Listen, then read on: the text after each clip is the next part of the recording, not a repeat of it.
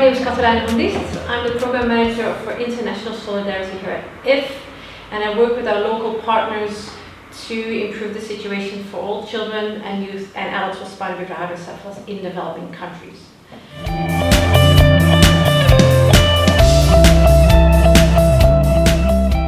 What we try to do in our projects is to implement a program which is called SHIP, the Spina Bifida Hydrocephalus Interdisciplinary Program, where we try to have a holistic and multidisciplinary approach to healthcare, which means from early identification, referral to pre and post-surgical care and li lifelong follow-up, where the child with spina bifida hydrocephalus is put in the center and their needs are put as the priority.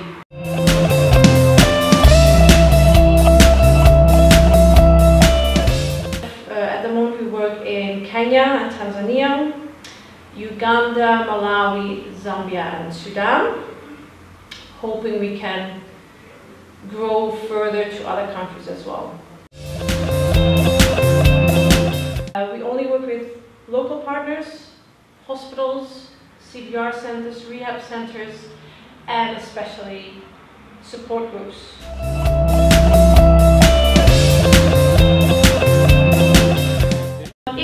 Our local partners by training them.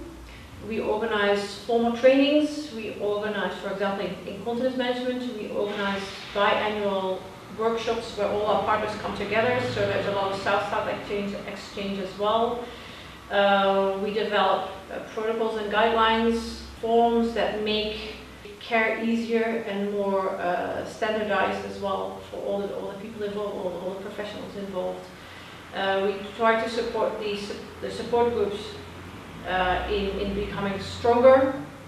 We share with them the knowledge that we have and our, our members of IF have